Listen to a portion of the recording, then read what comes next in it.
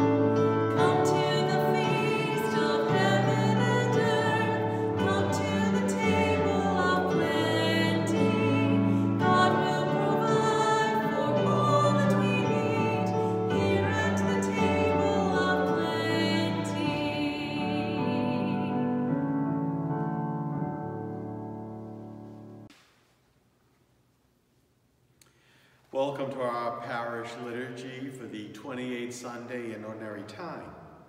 We continue to pray for you and for all of your family members. In the name of the Father, and of the Son, and of the Holy Spirit. Amen. The grace of our Lord Jesus Christ, and the love of God, and communion of the Holy Spirit be with you all. And with your spirit. My dear friends, mindful of our sinfulness, we now ask the Lord for his pardon and his peace.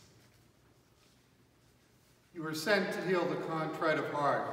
Lord, have mercy. Lord, have mercy. You came to call sinners. Christ, have mercy. Christ have mercy. You are seated at the right hand of the Father to intercede for us. Lord, have mercy. Lord, have mercy. May Almighty God have mercy on us, forgive us our sins, and bring us to everlasting life. Glory to God in the highest, and on earth peace to people of good will. We praise you, we bless you, we adore you, we glorify you. We give you thanks for your great glory. Lord God, heavenly King, O God, almighty Father, Lord Jesus Christ, only begotten Son, Lord God, Lamb of God, Son of the Father, you take away the sins of the world, have mercy on us. You take away the sins of the world, receive our prayer. You are seated at the right hand of the Father, have mercy on us.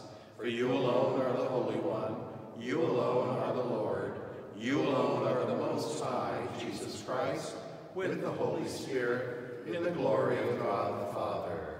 Amen. Let us pray.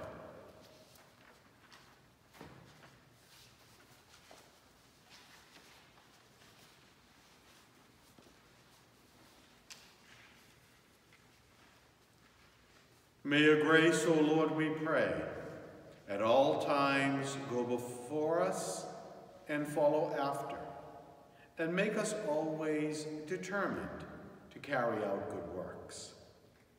We make this prayer through our Lord Jesus Christ, your Son, who lives and reigns with you in the unity of the Holy Spirit, one God, forever and ever. Amen.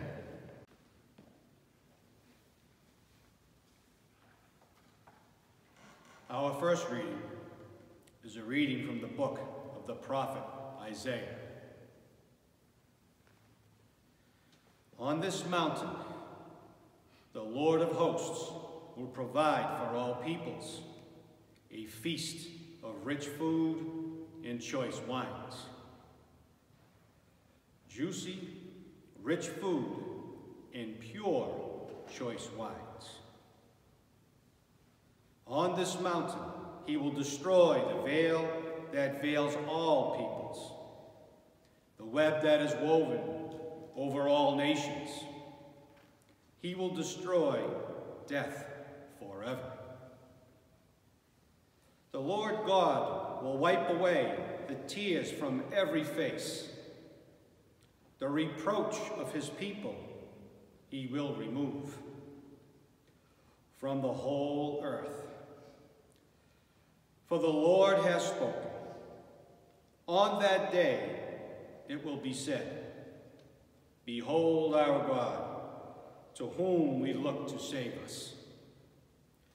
This is the Lord for whom we looked. Let us rejoice and be glad that he has saved us. For the hand of the Lord will rest this mountain. The word of the Lord. Thanks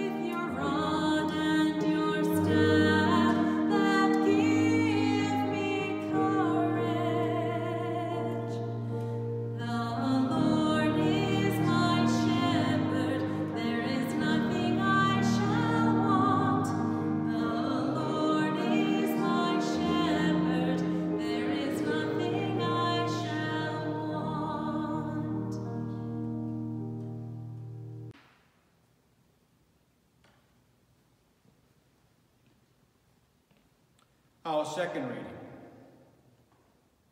is a reading from the letter of St. Paul to the Philippians. Brothers and sisters,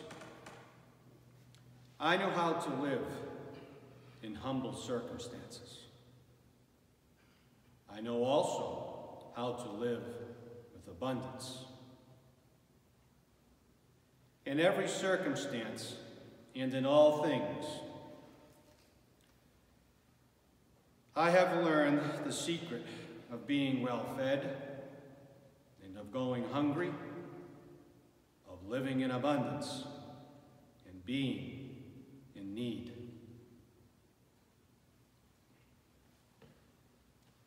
I can do all things in him who strengthens me. Still, it was kind of you to share in my distress. My God will fully supply whatever you need in accord with his glorious riches in Christ Jesus. To our God and Father, glory forever and ever. Amen. The word of the Lord. Thanks be to God.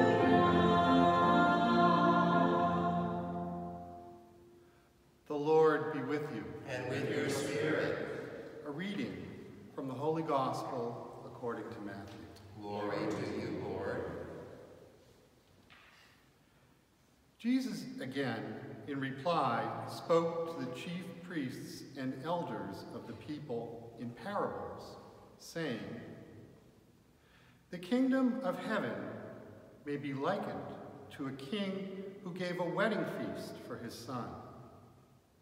He dispatched his servants to summon the invited guests to the feast, but they refused to come. A second time he sent other servants, saying, tell those, tell those invited, Behold, I have prepared my banquet.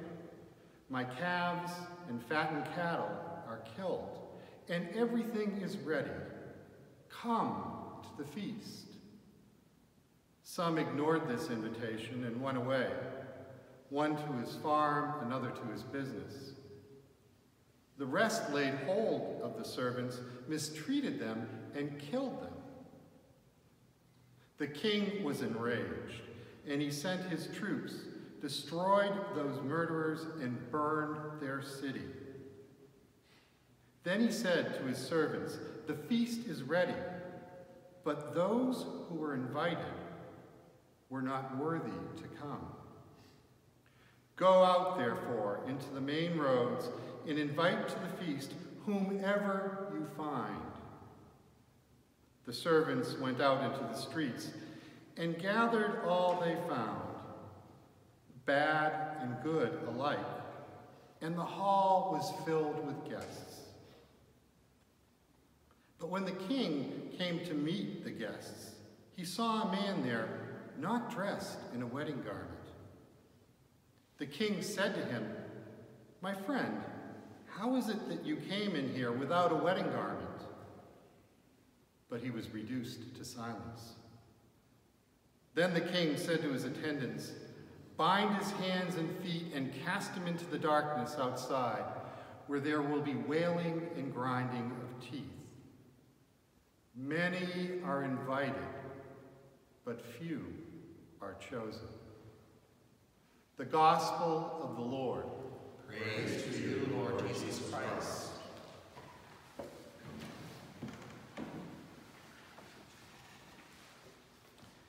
Today, in our gospel reading, we have the third parable in a series of parables that we have heard over the past few Sundays, where Jesus confronts the Pharisees and the elders of his faith community, trying to educate them about the kingdom of heaven.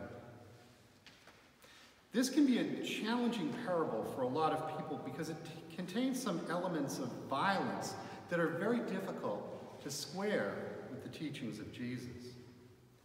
So what I'd like to do is just go through the parable, looking at the various elements, understanding them in the context of the times, but then relating them to our lives and to what it means for us today. Parable is a story of a king who invites the people of his kingdom to a banquet celebrating the marriage of his son. He sends out his messengers throughout his realm, and they have a hard time getting the guests to accept the invitation. Some are just too distracted by other things. Their work is more important to them. They want to get back to their fields or to whatever business they are involved in. Then there are some who outright reject the invitation in a really violent way. They go so far as to attack the messengers and murder them. The king gets so angry with these people that he sends his soldiers out to kill them. Most scholars believe that Jesus is prophesizing about the future destruction of the Jewish temple, which will occur in the year AD 70 when the Romans lay waste to Jerusalem. But for us today, the story of the king's messengers is about us as disciples. We too are called to be messengers that invite people to the kingdom of heaven. And yet we know that if we discuss our faith with other people or invite them to worship with us, there are some people who will say, I'm too busy, or I'm, I want to watch football, or I want to go golfing, or I've got some business matter to attend to, or something else that is more important than embracing the kingdom of heaven. And there are those people who are really hostile to our message, who treat us in a dismissive way, or disparage our faith, or even disparage a belief in God in general. Being a messenger that invites others to the banquet of the Lord can be very challenging. Now, in the parable, this, the king sends out a second round of invitation, invitations to any, anyone the messengers can find, either good or evil, which suggests that the first round of invitations were sent to a more select group, perhaps the socially acceptable, the wealthy, the more prominent, a better class of people. But now, the king says, invite anyone, both the good and the bad, the beautiful people and those who society deems unworthy. And that's when he fills his banquet hall. Jesus is telling us that the kingdom is for everyone, sinners and saints and everyone in between. Jesus is always reaching out to that person who's been shunted aside, rejected by society, the tax collector, the leper, the prostitute. And we, as his disciples, are called to do the same, to welcome anyone. As his disciples, we need to carry the message of the kingdom out to the margins of society, not just to the people we feel comfortable. The final interesting part of the story is this issue with the guest who shows up not wearing a wedding garment. It would be as if you hosted a wedding, asked everybody to wear formal attire, and then somebody showed up in torn jeans, sneakers, and a t-shirt. This guest has answered the call, has answered the invitation, but did he really take it very seriously? He shows up in a way that's almost disrespectful of the invitation. God calls everyone, from the most powerful to the most powerless, but he expects us all to treat this call seriously, to live a good Christian life, to come to the banquet of heaven adorned in a life of virtue and a life of holiness. And the violence in this parable shows that there are consequences for rejecting God's call or not treating it seriously. The invitees who kill the king's messengers are themselves killed. And the wedding guest who shows up with shabby clothes and a shabby attitude is tied up and cast out into the darkness. God invites us all to the kingdom of heaven. He calls everyone. He only asks that we show up and do our best to take this call seriously by living out a good Christian life.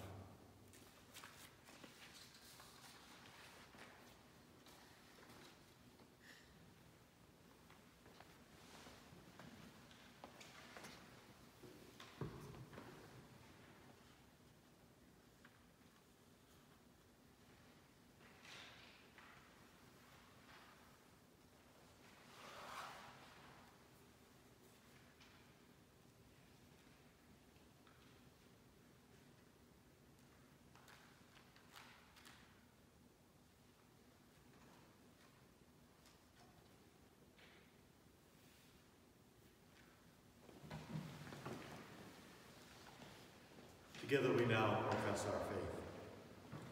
I believe in one God, the Father Almighty, maker of heaven and earth, of all things visible and invisible.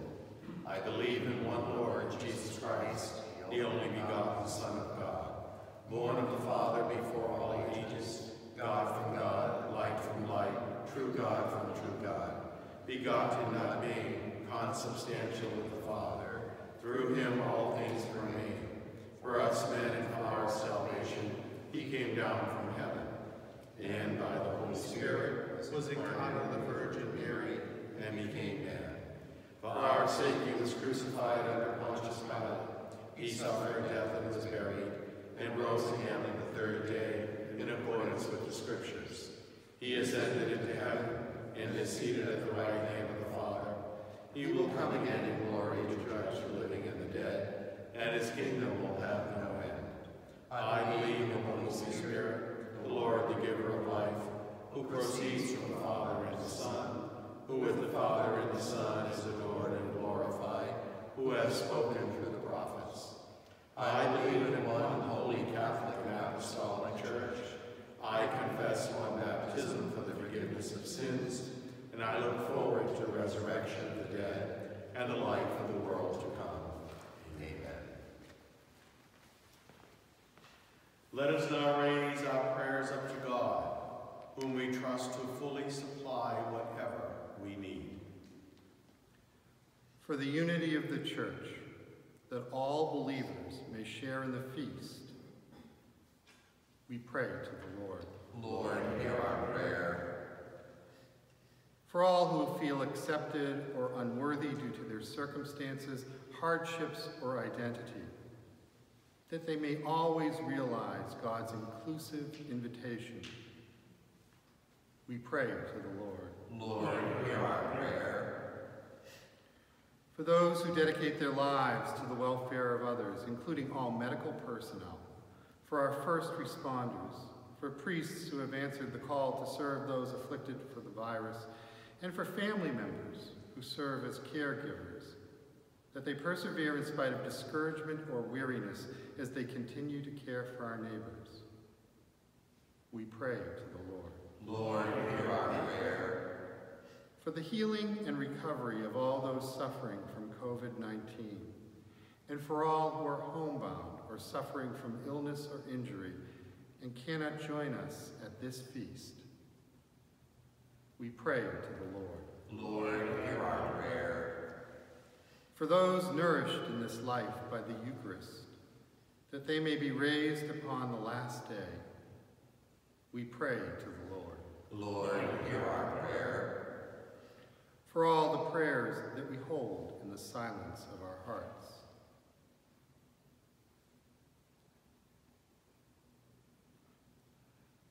for those for whom we promise to pray, for those who have no one to pray for them by name, and for the intentions of those remembered our parish bulletin.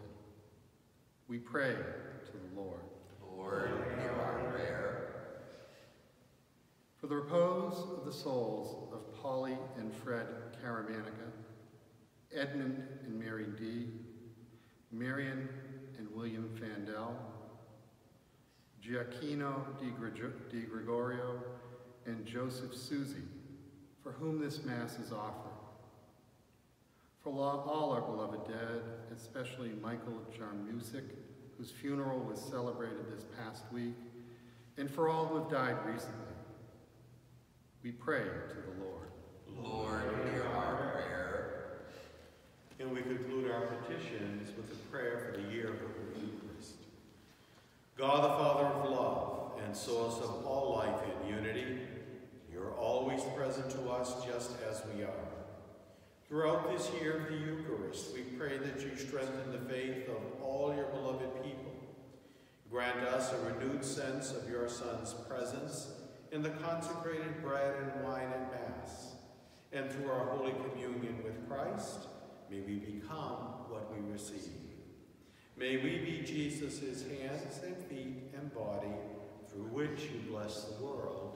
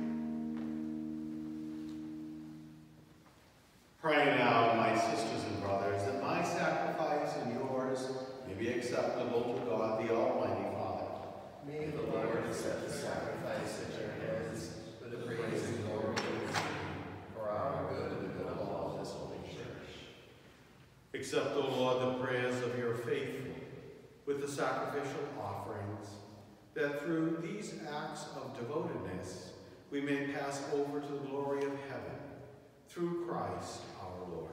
Amen. The Lord be with you. Your spirit. Lift up your hearts. Let us give thanks to the Lord our God. It is truly right and just, our duty and our salvation, always and everywhere to give you thanks, Lord, Holy Father, Almighty and eternal God.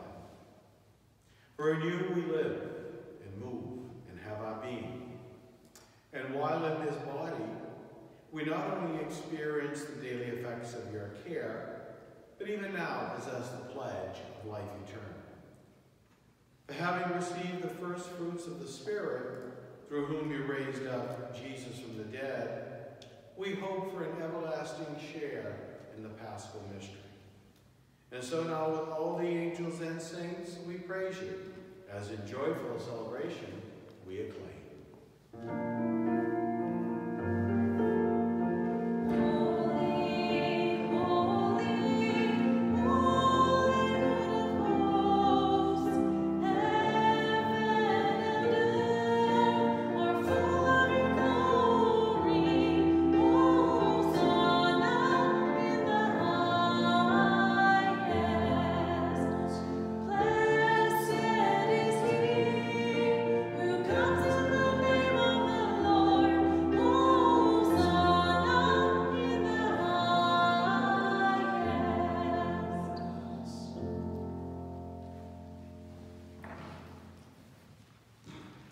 You are indeed holy, O Lord, the font of all holiness. Make holy, therefore, these gifts, we pray, by sending down your Spirit upon them like the dewfall, so that they may become for us the body and blood of our Lord Jesus Christ.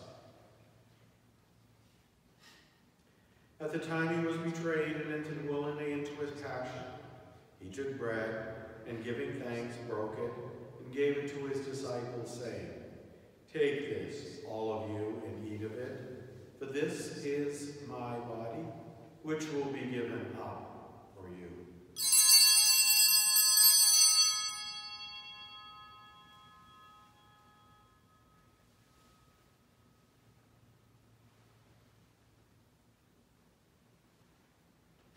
In a similar way, when supper was ended, he took the chalice and, once more giving thanks, he gave it to his disciples, saying, Take this, all of you, and drink from it, for this is the chalice of my blood, the blood of the new and eternal covenant, which will be poured out for you and for many for the forgiveness of sins. Do this in memory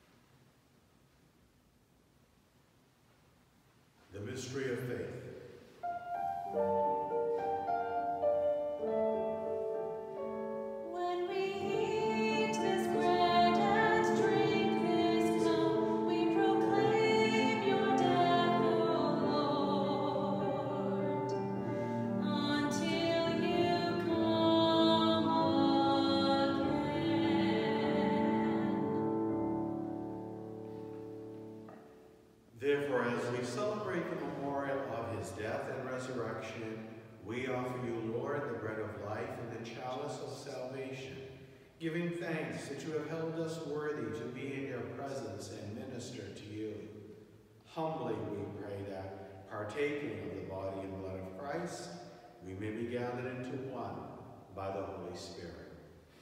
Remember, Lord, your church spread throughout the world, and bring her to the fullness of charity, together with Francis, our Pope, and Sean, our Bishop, and all the clergy.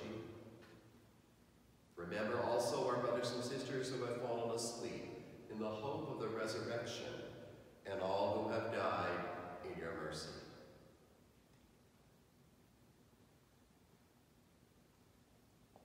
Welcome them into the light of your face. Have mercy on us all, we pray, that with the Blessed Virgin Mary, Mother of God, with Blessed Joseph, her spouse, with the blessed apostles and all the saints who have pleased you throughout the ages, we may merit to be co-heirs to eternal life and may praise and glorify you through your Son, Jesus Christ. Through him and with him and in him, O God, Almighty Father, the unity of the Holy Spirit, all glory and honor is yours forever and ever. Amen,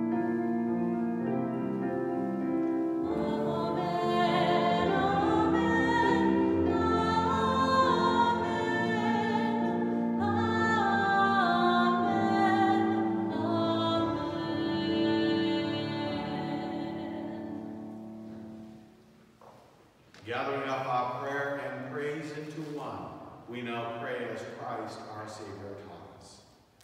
Our Father, who art in heaven, hallowed be thy name. Thy kingdom come, thy will be done, on earth as it is in heaven.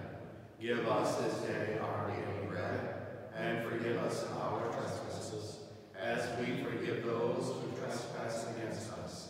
And lead us not but deliver us from evil. Deliver us, Lord, we pray, from every evil.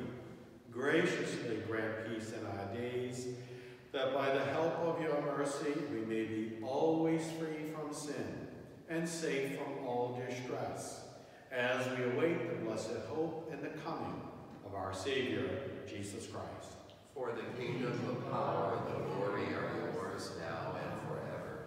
Lord Jesus Christ, who said to your apostles, Peace I leave you, my peace I give you.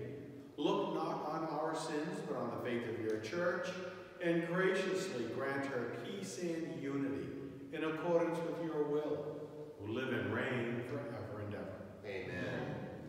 The peace of the Lord be with you always.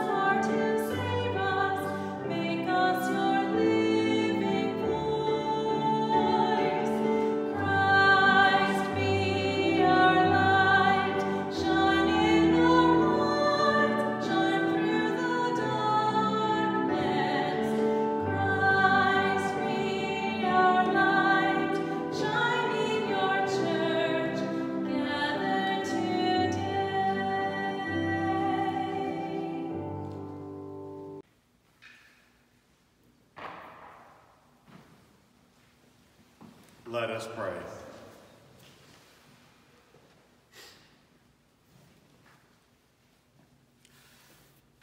We entreat your majesty most humbly, O Lord, that as you feed us with the nourishment which comes from the most holy body and blood of your Son, you may make us sharers of his divine nature, who lives and reigns forever and ever. Amen. Some announcements for you.